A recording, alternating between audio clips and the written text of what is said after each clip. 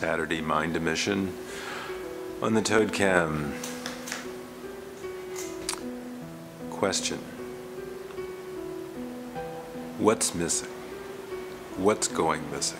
What skill or skill set do we need now more than ever?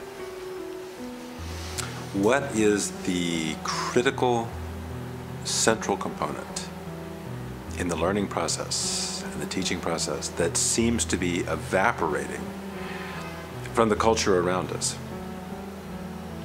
Major problem. And the problem is occurring because new technologies, the communication technology, technologies, internet-based technologies, uh, telephonic technologies, connectionist technologies of all different kinds, have emerged with such rapidity and have completely saturated the culture so completely and so rapidly that we really haven't had time to think about the medium to long-term consequences of adopting these technologies.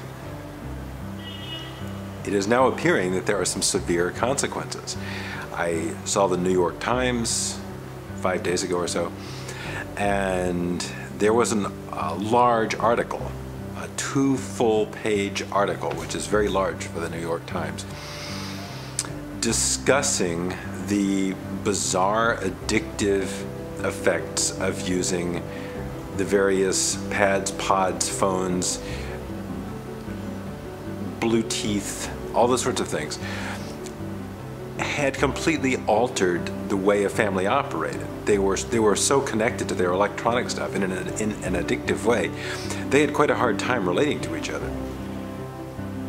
This has definitely flowed into the style of the way people communicate with each other in the, the tweet style. Um,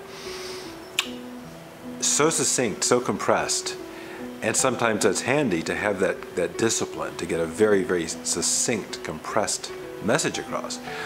But what has uh, clearly been displaced in all this is the ability to develop ideas, to take an idea and give it um, an expansion, to expand on an idea and to take it through multiple stages of development, take it down different paths, experiment with different outcomes, try different kinds of thought strategies and thought processes, test different hypotheses, add um, add different inputs, delete certain inputs. That that long, rich process of working through a, an idea, working through a thought, is rapidly disappearing, and it's simply being replaced with a, a thought burp, a little blip of a thought when it needs a much more uh, much more expanded development, more taking different possibilities, experimenting with different possible futures, different possible worlds. And I'm sure that type of thinking, that very careful, deliberate, developmental thinking of ideas, is being preserved and being conserved and developed and refined in the elite, the people who will be the leaders, the people who will control the capital, those people who will become the dominant, wealthy, trend-setting um, class of society are probably, I'm saying certainly, probably my foot, certainly being trained in the art of careful, iterative, expansive, developmental processes around ideas. If you are not going to be part of that elite, if you're not going to be admitted into that world, chances are very good you will be consigned to the world of, of little thought burps and thought ideas. And that's quite unfortunate because this is a, a skill set, this is a capacity which is necessary for everyone. At, at every stage, at every level, people need to know how to think things through.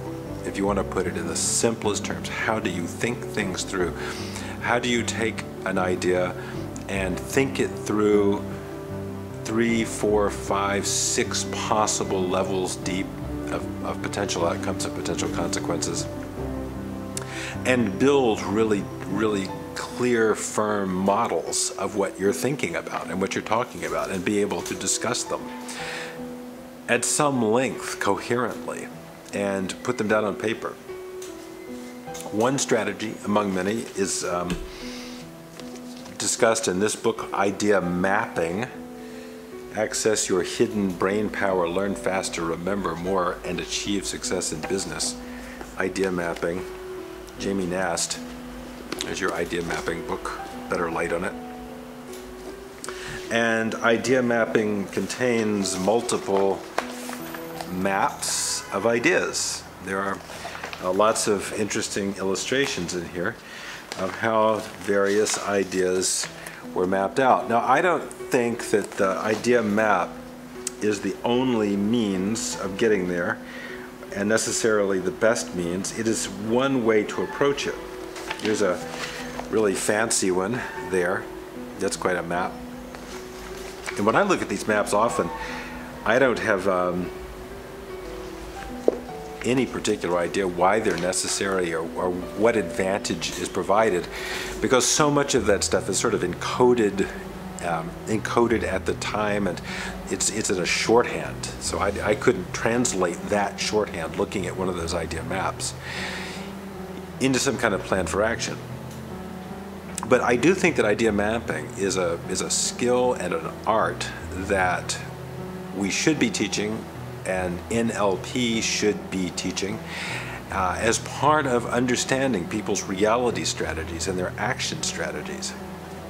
And we really don't do that. That's one of the, the grave deficiencies of NLP is it breaks things down into little um, little sort of tactical maneuvers without looking at the larger strategic picture of how all these maneuvers fit into a pattern for some kind of development or for some kind of uh, outcome. So I'm going to put in my little um, vote here for idea mapping. I think we should do a lot of idea mapping and get very good at idea mapping and practice it. Um, the area, the little sub area of modeling called knowledge engineering definitely broaches that, that idea of idea mapping. And I, knowledge engineering or KE modeling is the only one I know of that speaks to idea mapping as a, as a legitimate component of NLP. Idea mapping is very important. And uh, I think once you get a handle on it, once idea mapping becomes part of your uh, part of your sort of preparatory work, even if you do it in your own mind before you engage in a conversation and you're thinking you can map that conversation as you go through it, you will be at a tremendous advantage, both in, in your capacity to express yourself and you will have a tremendous advantage in your capacity to understand and map out what other people are saying and give it some kind of internal structure. That's sort of a hidden layer in there. That's sort of like down in the submodality layer, you might say. But it's a very important hidden layer. And I, I can clearly distinguish in my mind between those people who implicitly idea map and those people who have not developed the art of implicit sort of infraconscious or preconscious idea mapping they're like two different types of mind almost like two, very very different types of um, ability to grapple with reality and make some uh, constructive use of it.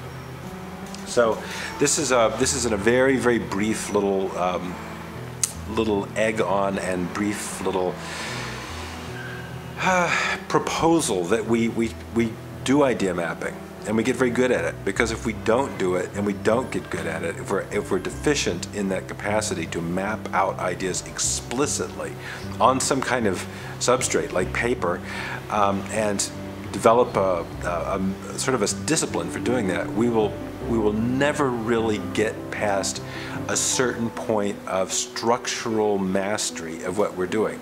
So um, and I can't tell you for sure that just by buying idea mapping, just by getting this book and reading it and taking that in will automatically change you. You probably will need a very strong course taught by a very uh, proficient teacher that